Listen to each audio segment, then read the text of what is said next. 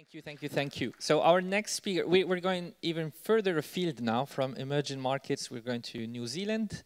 Uh, we're very also honored to have uh, Jane Retimana with us. Jane is uh, the general manager at uh, Payments NZ. Payments NZ is the sort of banking uh, association in New Zealand. They are, as we said during this morning, they're driving or they're having an open banking uh, initiative driven by the private sector. So really curious to hear a little bit more about that. Jane, your, the floor is yours.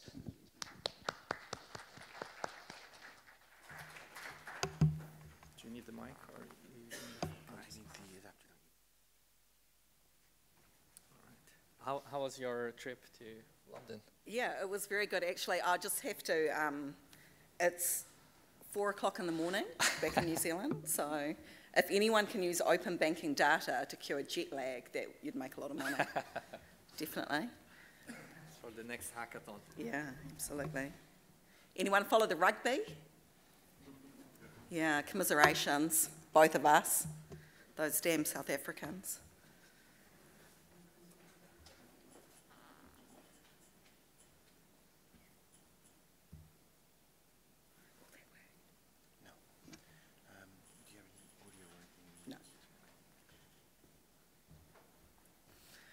Okay, well, that, while that gets up, um, thanks for having me here. I'm Jane Retimana. I'm from, as Ismail said, I'm from Payments New Zealand. And Payments New Zealand, we're a payments association actually, not the Bankers Association. But we were set up in New Zealand after the GFC about 10 years ago um, to basically expand openness in payment systems. We have a payment system mandate um, for New Zealand to have the most modern and progressive payment system in the world. Um, I don't know how well we're going on that, but we're on a journey. Um, Payments New Zealand has three kind of three things that we're doing now. We uh, govern and work with the industry on um, interbank settlement for clearing systems, payment systems. So um, probably small change for all of you, but in New Zealand we um, manage, we govern and manage the um, two interbank clearing systems that put through about 7 trillion New Zealand dollars through um, these systems a year. Uh, we also work with the industry and the wider um, payments ecosystem um, on setting industry strategy. And um, I head up a, a program called Payments Direction, and that's our long term industry strategy to look at um, modernised infrastructure, payments infrastructure, and also at um, enabling capabilities, those non-competitive, um, very paymentsy interoperability kind of enabled um, building those capabilities uh, with the with the industry. And um, now, uh, for our sins or others, other things, um, we also get to manage API standards framework, which is why I'm here to talk to you today, and I'll just keep rolling on through my presentation without the slides. Um, so just to give you a bit of context about, um, about New Zealand, so we're highly banked, I think 99.5% banked, although I take the point of the previous um, speaker about you can have a bank account, but whether you're using it is a different thing. Um, so we're highly banked, we're highly um, electronic payments usage is very high in New Zealand. We've had a proprietary debit card um, in New Zealand since the 80s, um, very prolific and um, very, very well used by, the, by um, Kiwi citizens. So Kiwis are used to paying by card, they're used to internet banking, um, they're used to, um, I think we're known as a nation that's, um, yeah, very high, very kind of tech savvy. Um, we're also an export economy, um, so we're always trying to sell things overseas, particularly into, into Australia and China. And we've got very light touch financial regulation, and that happened um, in the late 80s. And so that just gives you a little bit of context to the New Zealand market. We're a little bit different. Um, the scale of our market's really small, so our um, banks and, and um, competitors in financial services have had to collaborate on a lot over the years. Um, it's very rare that a bank can bring a, um, a, a kind of a product to market and, and, and kind of capture the whole value chain. So collaboration is definitely um, something that, that we do. Uh, as part of our long term, just to give you context to why we actually got into open banking. Oh, right, okay, I'm going to skip right through. There we go. Um, so, so with this long-term um, strategic program that we've got, setting out a long-term strategic roadmap, and this is um, important because I, uh, I don't think he's in the room, but Gavin Littlejohn this morning, if you were here, kind of was, um, gave a slight criticism of what we're doing in New Zealand, and, and his criticism from an open banking perspective is real, but we're not actually doing open banking. Um, although it looks and feels quite similar, it's, it's definitely come from a different place. So we, um, as part of our long-term strategy, since 2016, have been looking at what all the global drivers for change are in payments um, and in the payments value chain, which is where data comes in. And this is just, um, just six high-level kind of themes that have just come out of our recent global scan. But these really haven't been changing much in the payments, um, in the payment space at all. And you know, payments that are always on, we all know that. Real-time payments are the new norm. You've had real-time payments here for a long time. Um, seamless, secure, invisible payments, um, drive towards the common adoption of standards, even in blockchain, you know, you do need standards to bring those rules and standards to bring those ecosystems alive. And um, obviously, your regulators, we work in a very light touch environment, so we always get a little bit scared when we come over here or go to Australia with their regulators. Um, but our regulators are quite light touch, but they are becoming slightly more um, interventionist. Um, with the way that the world's um, kind of with how the system's evolving. Um, and so what's we believe underpinning that, and what you will all know is obviously digital life, um, technology enablement, you know, APIs maybe five years ago wouldn't have even been thought of to solve many of kind of payments use cases. Um, we've got global consumers, and particularly in New Zealand, we do export economy, um, and, and those regulatory catalysts are driving a lot of change. So while those um, things have just been reinforced by our recent kind of work, some research that we've done, um, they pin back to these industry strategic focus areas that we um, have been looking at for a number of years now. And these really um, represent kind of five areas of focus for Payments New Zealand and our industry in New Zealand. So fast ads, I don't know if you know many Kiwis, but we've got a lot of um, slang words like sweet sweet as, so this is fast as. Um, moving to more informative and informed transactions, we want a self-governing payments industry because if we can self-govern ourselves, then we um, maybe save, so save ourselves a bit of money on the compliance side, that's for sure. Simple payment systems and international payments. So why this all makes sense to open banking Kiwi style is because out of that work uh, came um, the identification and the need for a shared API framework with API standards. And so that came from really those, um, I'll just go back, that simple payment systems. We recognise that in payments world, that there's a dynamic network, that partnering, simplifying partnering was a way to enable that dynamic network. It was a way to bring in new entrants into the market, to work with incumbents and to create a more dynamic ecosystem. Um, it also came from that informative and informed transactions, how are we getting data through the payments value chain and what could customers use that for. So the basis of our open banking, and that should be a small O and a small b, um, Kiwi style was to simplify partnering, to bring innovation to market quicker, um, to kind of enable third parties and banks to come together um, on, on using standards um, to, de to deliver innovation to Kiwi consumers and businesses. So that's kind of the background to where we're at and why it's not regulatory driven open banking. Um, our regulator is very interested in what we're doing and has set some expectations. Um, but this has really um, been industry led and, um, and market driven. So you've all seen those. Actually, I think that might be, we might have used your um, picture there, so I'll give credit to you, um, Ismail. Um, so the journey so far, actually, that starts in 2018, but we actually um, started some high level investigations in 2017 working with the industry, so banks and um, some of our member third parties. So we probably had 20, 30 organisations in 2017 looking into the, this opportunity of developing a shared API framework and um, API standards. And that really led to an industry pilot, which we kicked off last, early, last, early 2018. Um, so the industry pilot, really, we got three banks, we got three third parties.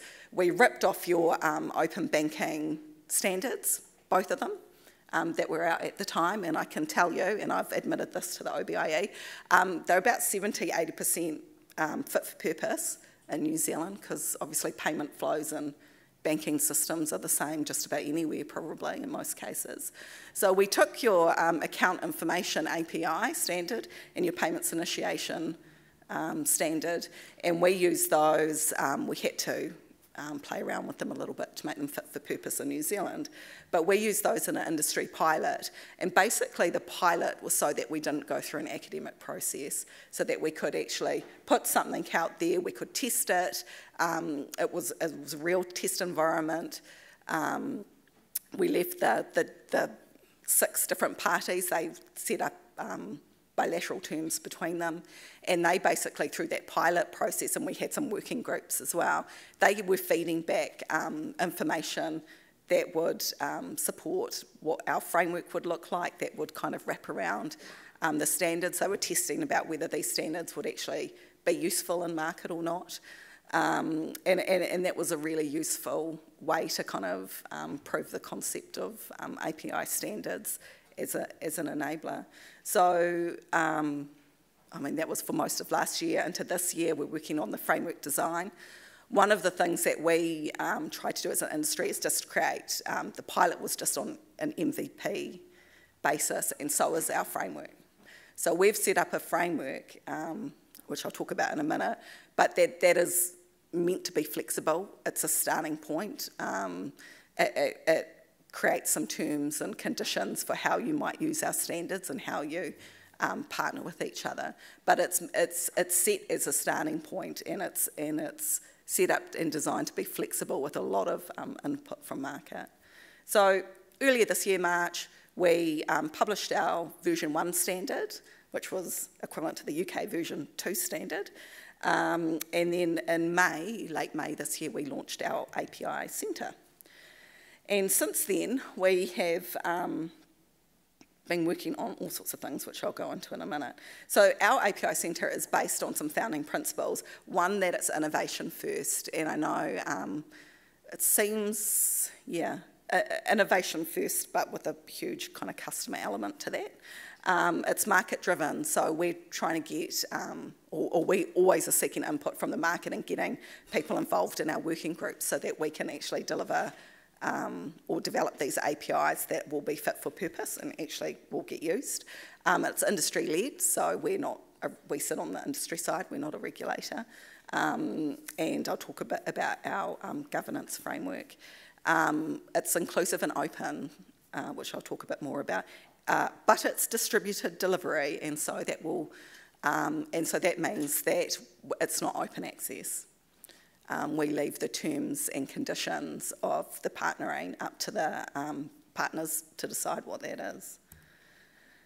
Um, we have, um, although I'll go into that a bit more because we do, do set some constraints around that. So the API Centre is governed by an API Council, which is made up of um, six banks, six third parties, three independents, and um, a regulatory observer, so that's a headache, 15 people around the table. But it's proven so far to be really effective because you've got both your providers, your um, bank providers, and you've got your third party users um, in the room.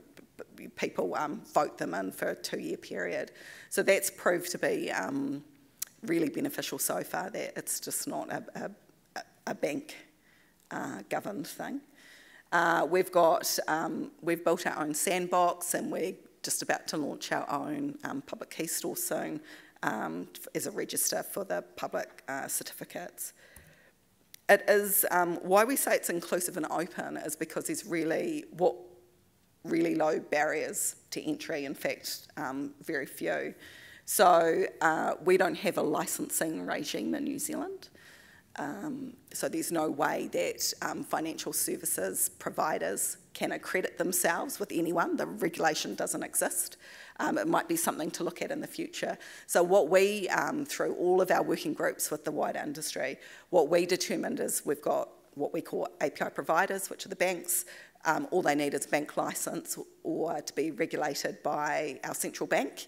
Um, and if they can prove those two things, or if they're a non-bank, they can, um, as long as they're regulated by our um, Reserve Bank or our FMA, uh, Financial Markets Authority, then they can be a provider. Um, and so that hopefully in the future, once we have um, other APIs, we'll let in, um, I think the pension, I think you call them here, the pension schemes and other um, uh, other types of providers. And for third parties, all you need is a New Zealand bank account, a New Zealand IRD tax number and a genuine business interest, and you can join the API Centre. And so we did that to make sure that all sorts of um, businesses uh, could, could join the standards body, which in effect we are, um, and get involved. And then we've got community contributors, people that want to use our um, sandbox.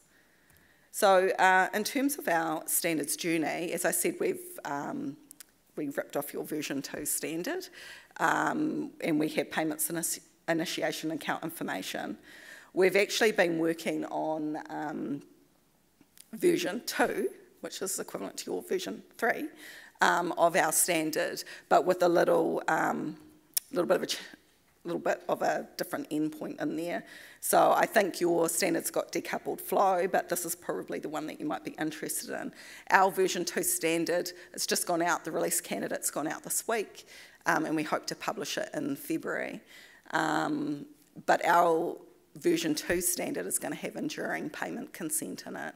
And that enduring payment consent is um, basically a little bit like a direct debit, really, where customers are actually in control of their consent. They'll be able to um, really potentially, um, depending on the solutions, set up their um, consent profile within their bank um, and allow third parties to such things as recurring payments, um, conditional payments, all sorts of things. So this new um, endpoint is basically what all um, our merchant community has been asking for, um, and we're a little bit different in New Zealand as well because I, I think someone said this morning that here in the UK, the account information APIs um, the main interest area for everyone. But in New Zealand, it's the payments initiation, and that might be because we're payments as well. Um, but definitely, this um, enduring consent endpoint is, um, is something that the merchant community, the payment gateways, um, and a lot of, like, even like our tax department, local councils, they're all really interested in it. And they're interested because they see that because it's a bank to bank payment, that, underpins that. They see that as a much cheaper option than cards. So we'll, we'll see what happens. So that's, um, so as I said, we've got a release candidate out on that at the moment, and we're looking for feedback, and then we hope to publish um, those standards in March. Um, an interesting thing that's happened though, is we've um, quickly kind of iterated iterated into version 2 is that we've created a little bit of lag in our system. So we launched in May. Um, today we have 20 what we call standards users. Um, we've got nine banks, including the four biggest banks that kind of represent 95% of the market. Um, on board as, as API providers, and we've got um, now 10 third parties and about a pipeline of about 80 to 100 other companies um, that are interested in joining. Um, but as I said, we've built a little bit of lag because we've been iterating our version 2 standard. Some of our providers are holding out for that to be published before they um, put they, they're in production and, and they're ready for, um, they'll be ready to um, connect and um, expose their um, endpoints to third parties. So we're hoping by about the middle of next year that the majority of our providers will um, have these two version 2 APIs up and up and running and they'll be connecting with third parties. There's a couple of providers now that are using version one, um, but we're probably still another six, seven, eight months away from um, probably that critical mass and that tipping point um, in this area. Third party interest, um, here's just kind of based on, on what the feedback we're getting is what um, third parties are interested in New Zealand. So integrated payments, 30%, um, and then, yeah, the aggregation services, which I think you call them intermediaries here. There's quite a few companies interested in, in being that platform for um, smaller co companies to plug into, um, developing alternative payment options, financial management tools, um, probably similar things to here, but maybe more skewed towards um, the payments area. As I said, the regulator um, is interested. They, um, they, they got interested um, about 18 months after we'd started. Um, so that was a good news story for them because then they will be able to tell their other regulator buddies that they were already onto it in New Zealand. So it's always good to make them feel good. Um, but yeah, so they've set out some expectations. So they expect all banks to be um, in production and to be partnering. Um, they don't expect it to be free. So um, as I said before, we do, we have set up um, a, distributed delivery and bilateral model on the um, partnering side. We have set some minimum standards. so both third parties and providers, they register with the, the centre and only registered um, standards users can connect with each other and use our standard.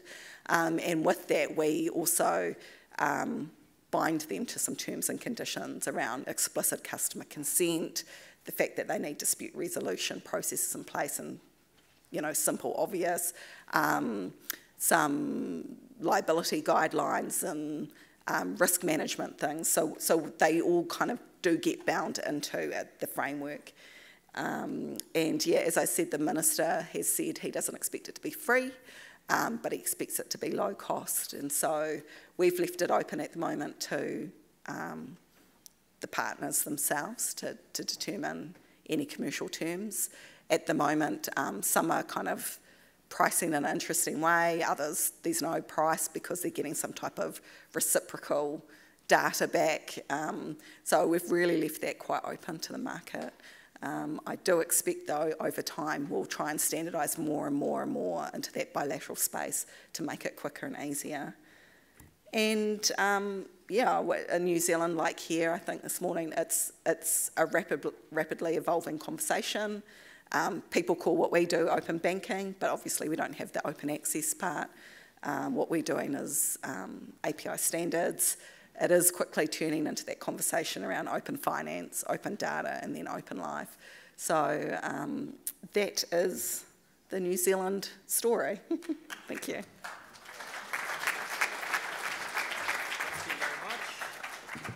Thank you, Jane. Do we have a question for Jane? Do we have any question? otherwise, I do have a quick one. When when you talk about um, you know it's not like open access and you have set sort of minimum standards. Can you talk a little bit more about that? And in particular, like what what do you think about uh, around liability? If there is a problem, do you define minimum standards for yeah, that? Yeah. So um, we we have set out that liability. Um, as where it falls, is that right? I don't know if that's the right saying, but um, so if, if it's on the third party side, it's, it's their problem. If it's on the bank side, it's their problem. So um, that is probably an area that we're going to have to kind of delve a bit more into over time, um, depending on, on what happens. Because once the market's up and running, we can, um, we'll get feedback and so some things we'll have to tighten up and other things we'll be able to leave to the market, potentially.